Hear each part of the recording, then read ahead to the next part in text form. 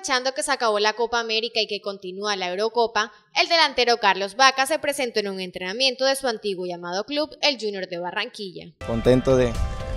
tener la oportunidad de, compartir con,